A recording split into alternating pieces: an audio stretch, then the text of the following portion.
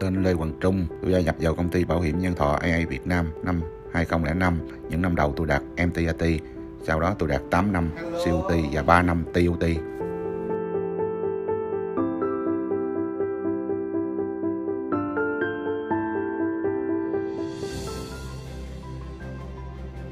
từ cái lúc mà anh chạy xe ôm cho đến thành quả thì hiện tại bây giờ anh có điều được của AI cho anh 2005 á là anh bắt đầu vô bảo hiểm thì lúc đó anh chưa có bỏ cái nghề chạy xe ôm, thì cái bảo hiểm là cái cái cái nghề phụ thôi.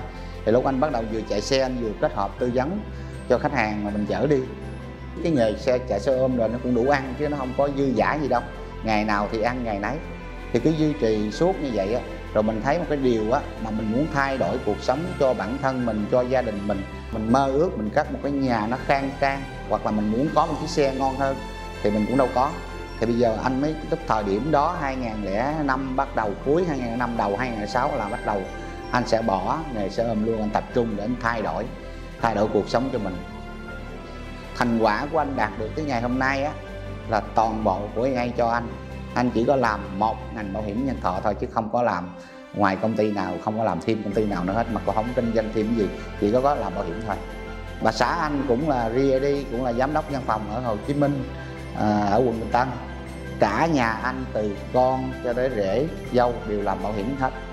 Phải mấy AI hết thường ở trong đầu anh hay nghĩ là mình làm một cái công việc gì đó mình phải tin tưởng cái công việc đó nó tốt cho mình nó chốt cho khách hàng của mình. Giống như AA đã từng cam kết với khách hàng là những cái quyền lợi bảo hiểm khi tử vong mà trả cho khách hàng. Thì cái đó là cái niềm tin của anh đối với công ty bảo hiểm AA, công ty của anh đang làm việc hiện tại bây giờ. Thì cái sức mạnh đó nó đến từ cái niềm tin đó. Cái niềm tin mình tin tưởng cái điều gì nó tốt thì mình mới có cái sức mạnh để mình làm việc đó. Còn không ấy là mình bị một cái tâm lý, mình sẽ bị một cái tâm lý là cái người ta giàu hơn mình. Mình vô mình à, bị khớp đi, mình không nói chuyện được với khách hàng đó.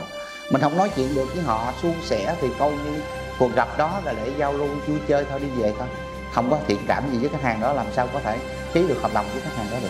Cái ngành bảo hiểm này, cái tố chất ở trong người mình cần phải rèn luyện hàng ngày hàng ngày mới có được. Mà cái lúc những năm mà đầu tiên mình nói với bảo hiểm, giống như người ta cứ mở miệng ra nói bảo hiểm là giống như là khách hàng nói mình lừa đảo vậy. Hoặc là có nhiều khách hàng người ta nói là bảo hiểm đóng tiền vô thì dễ lấy tiền ra thì khó, là mình lại phải giải quyết một cái vấn đề cực kỳ khó cái thời điểm đó nữa. Anh có những cái ưu việt á là anh đều phải ghi lại cuốn sổ tay là thí dụ mình gặp cái trường hợp đó, khách hàng nói như vậy thì mình trả lời làm sao? Với khách hàng, để cho nó đúng, cho nó phù hợp, nó vừa vừa mình, vừa cái người nghe, cái người khách hàng nó nghe phải lọt lỗ tai, nó phải thông qua, thì khách hàng mới chấp nhận cho mình nói về bảo hiểm nữa. Còn không ấy, từ ngay điểm đó là đã cãi lộn đi về rồi. Trước khi mà đi gặp một cái gì, anh phải chuẩn bị trước những cái tư thế là những cái bài. Tới đó mình gặp khách hàng, mình nói cái gì, rồi khách hàng từ chối cái gì rồi mình phải lường trước những câu xử lý từ chối khách hàng. Khách hàng muốn nói cái gì là tới đó. Khách hàng nói là ngay cái bài của mình. Là mình xử lý rất là nhẹ nhàng.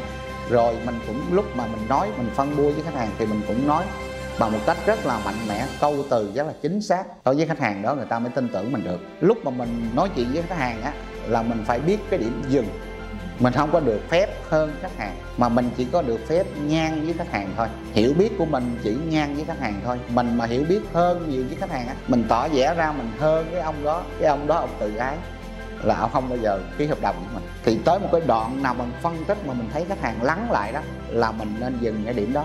Không được nói thêm mà cũng không được thể hiện ta đây là cái người hiểu biết hơn khách hàng. Khi mà mình ký hợp đồng với khách hàng rồi á thì mình phải coi khách hàng giống như một cái người thân của mình vậy đó.